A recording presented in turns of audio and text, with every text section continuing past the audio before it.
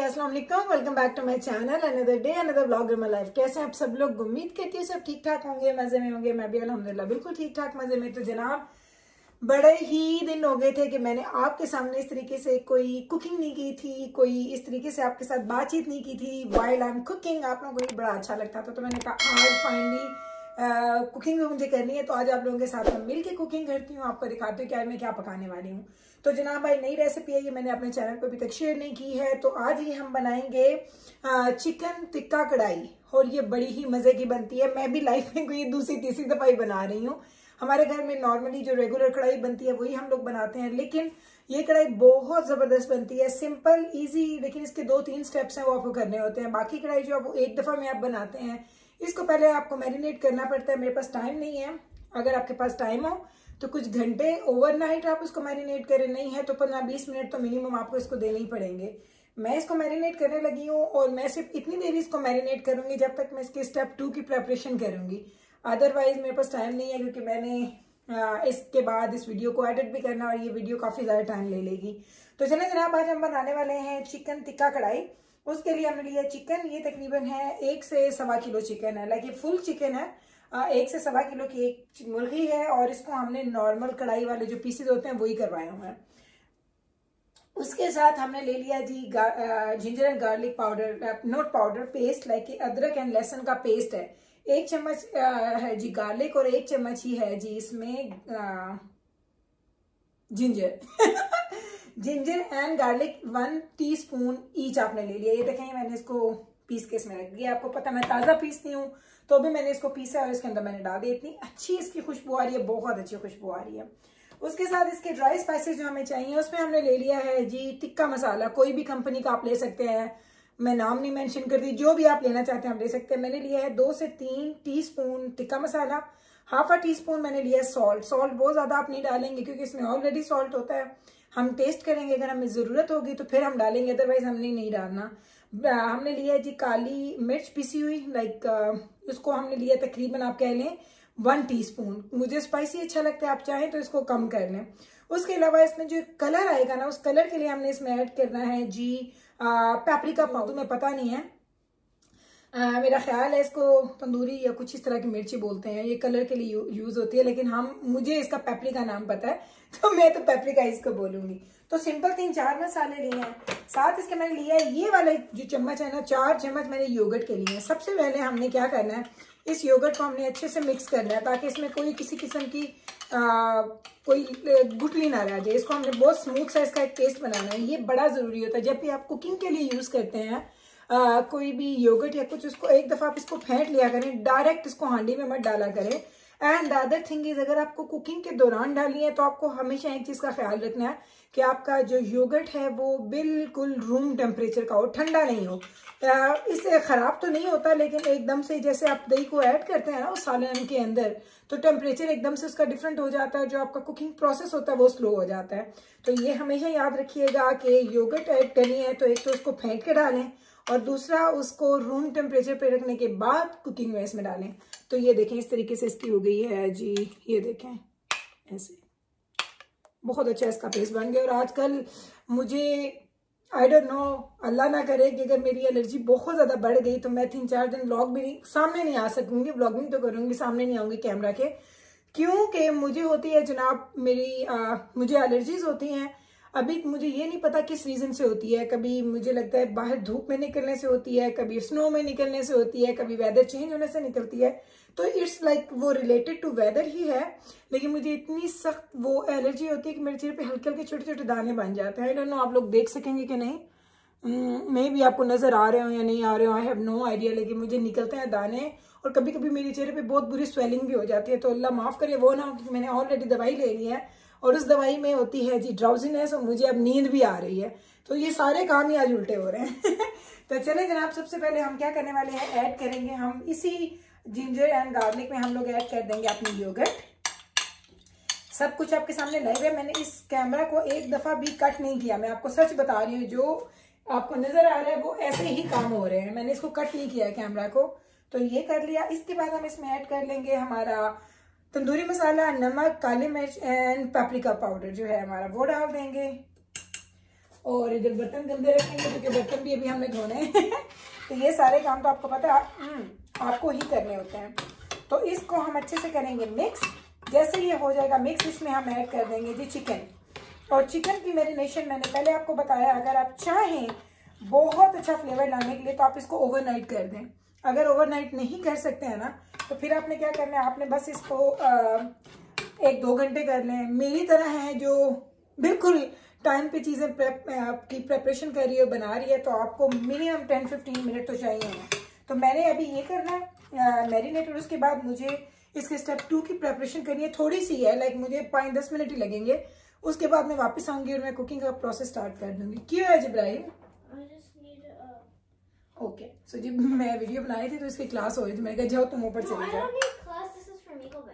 मिकल तो तेरी क्लास खत्म तो नहीं होगी? हो गई है? इट्स फिनिश ऑलरेडी ओके जी। तीन बज चुके हैं तो ये होगी जी प्लेट ये जाएगी इधर धुलने के लिए। और इसको हमने अब अच्छे से करना है मिक्स तो बस आ, आज मैं ऐसे बैठी हुई थी और मैंने सोचा यानी एवरीडे मैं सोचती हूँ ना मैं ऐसे पकड़ के ना आपसे बातें भी करती हूँ मैं मिक्स करती हूँ। तो एवरीडे क्या होता है कि जैसे ही मैं कोई काम करती हूँ ना तो मैं सोचती हूँ कि मैं आज आपको क्या वीडियो में दिखाऊँ, आज हमारा कंटेंट में क्या चेंज होना चाहिए। अच्छा नहीं लगता तो मुझे आप आइडियाज़ दें, क्योंकि आइडियाज़ हो सकते हैं मुझे क्लिक कर जाए और मैं कर सकूँ तो मैं ज़रूर उनको ट्राई करूँगी। तो चले जनाब, ये हो गया हमारा चिकन मैरिनेट तो अभी मैं इसको यहीं पे रखूँगी, कोई इसको फ्रिज में नहीं रखना, क्योंकि आपको पता फ्रिज में रखने से मैरिनेशन का प्रोसेस स्लो हो जाएगा। हमने स्लो नहीं करना, इसको हम बाहर रखेंगे शेल्फ के ऊपर, इधर। और इसके साथ ये भी हम कुकिंग स्टार्ट करते हैं। कुकिंग स्टार्ट होती है, फिर मैं आपसे मिलती हूँ दो तकरीबन पाँच सात मिनट के अंदर अंदर। चलें जनाब जी, हम लोग आ चुके हैं वापस, और यहाँ पे अगर आप देखें तो मैंने दो चीज़ें रखी हैं। एक है जी कढ़ाई। आपको कैमरा दिखा दूँ ऐसे, या, मैं कम भी नज़र आऊँ तो खैर है। एक है जी कढ़ाई और एक है जी खुला सा पैन, कोई भी। इस कढ़ाई को मेरे हस्बैंड इतनी दफ़ा बोल चुके हैं, चेंज कर लो, चेंज कर लो, चेंज कर लो। मैंने चेंज नहीं की क्योंकि मुझे बड़ी ज़्यादा पसंद है।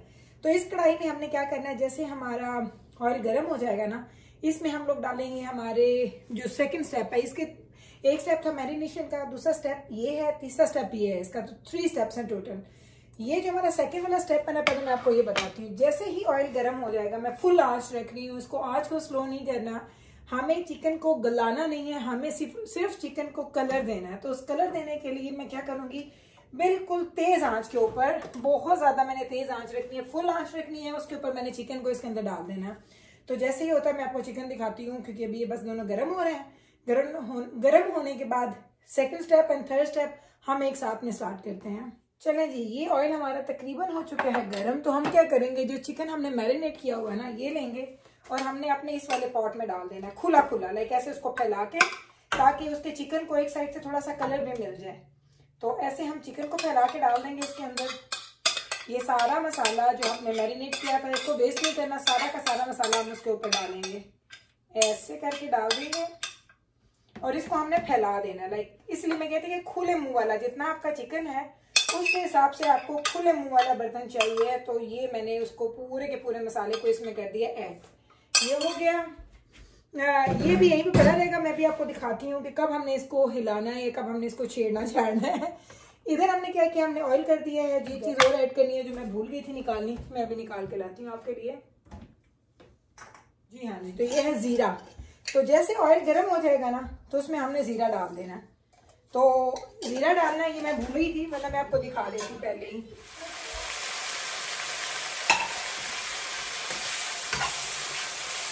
चलें जी ये मैंने डाल दिए टमाटर।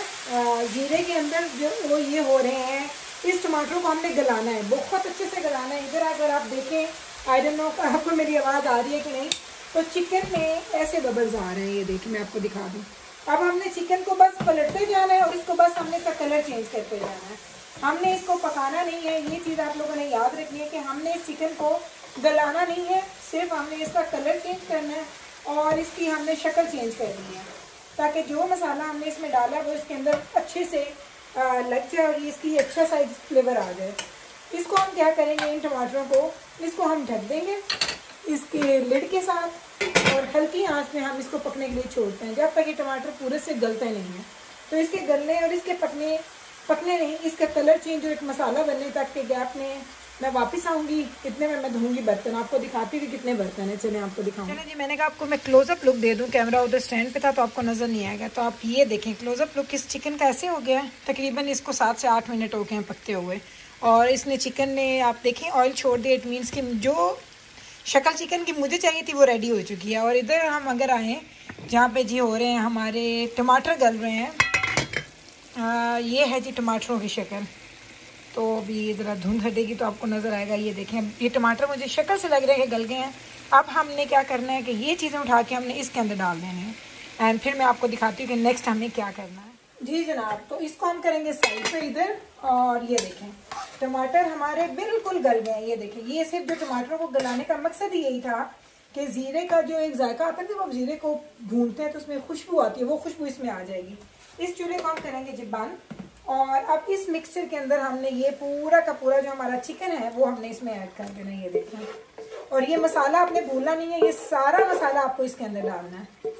तो ये देखें, ऐसे आप मसाला डालेंगे। अभी मैंने सारे बर्तन धोए, अब सिंह खाली था ये अब दोबारा जा रहे हैं मतलब बर्तन उसमें। तो ये नहीं जी ये देख रहे हैं, ऐसे। मैं तो कुछ भी नहीं छोड़ती, मसाला देखिए बिल्कुल साफ़ हो गया। इसको हम इधर रख देंगे और अब हमने इसको तेज आँच पे भूनना है। थोड़ी सी इसकी हमने भुनाई करनी है। तो ये देखें, इसकी शक्ल आप चेक कर। रहे हैं हाँ। हाँ हाँ इतनी मज़े की चिकन कढ़ाई बनेगी, इतनी मज़े की टिक्का कढ़ाई बनेगी। इसको आप नान के साथ खाएँ, चावल के साथ खाएँ, जैसे आपका दिल करे आप इसको खाएँ।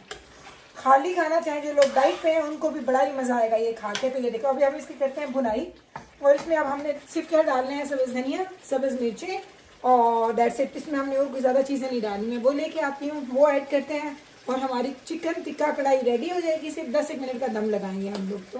तो चले जनाब ये देखें। कढ़ाई हमारी बन रही है तीन चार सब्ज़ मिर्चें, ये मैं डाल दूँगी और ये मैं सब्ज़ धनिया लेके आई हूँ।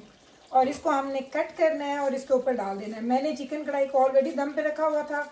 एक दो मिनट हो चुके हैं। बस इसको तीन चार मिनट और और हमारा चिकन गला हुआ क्योंकि वो ऑलमोस्ट हाफ़ गल चुका था जब हमने उसको सेपरेटली बनाया था दस से बारह मिनट के लिए। और 10-12 मिनट ही थे तो 20 मिनट से ज़्यादा आप चिकन को नहीं देंगे अदरवाइज़ आपका चिकन बहुत ज़्यादा एक्स्ट्रा सॉफ्ट हो जाएगा।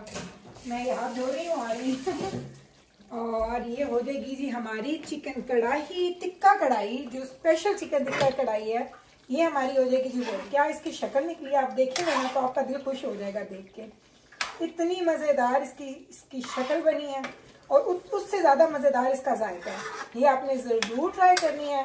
और फिर मुझे आपने बताना है कि आपकी ये रेसिपी कैसी बनी, झटपट बनेगी। अगर तो आपने मेरीनेशन करके रखी है एक रात पहले तो आपको पंद्रह से बीस मिनट लगेंगे। अगर मेरीनेशन भी करनी है कुकिंग भी करनी है तो मेरीनेशन का आप कह लें पाँच से दस मिनट। उसकी प्रेपरेशन उसके सामान को मैरिनेट करते हुए और उसके बाद कितनी देर अगर आपने मैरिनेशन के लिए उसको रखना है, वो आप पे डिपेंड करता है। कुकिंग टाइम जो है, ये इसका 20 मिनट से ऊपर का नहीं है। 20 मिनट में आपकी मज़ेदार, बेहतरीन चिकन टिक्का कढ़ाई रेडी हो जाएगी। चले जनाब तो ये तो मेरा आज का व्लॉग उम्मीद करती हूँ मेरा आज की ये वीडियो कुकिंग जो स्पेशल थी, जिसमें हमने मज़ेदार रेसिपी आपके साथ शेयर की, आपको ये ज़रूर अच्छा लगा होगा। अगर अच्छा लगा है तो प्लीज़ इसको लाइक कीजिएगा शेयर कीजिएगा एंड चैनल को सब्सक्राइब करना मत भूलिएगा। क्योंकि अगर आप सब्सक्राइब नहीं करेंगे तो मेरे डेली ब्लॉग का जो मैं इतनी मेहनत करती हूँ आप लोगों के लिए, वो आपसे मिस हो जाएगा और आप उससे कोई इंजॉय नहीं कर पाएँगे। तो चले जनाब, लेती हूँ आपसे इजाज़त, मिलूँगी कल आपके साथ सेम टाइम पे सेम चैनल पे एक नए ब्लॉग के साथ। तब तक रखिएगा आप अपना ख्याल, मुझे रखिएगा आप अपनी दुआओं में यार। टेक केयर जी, अल्लाह हाफिज।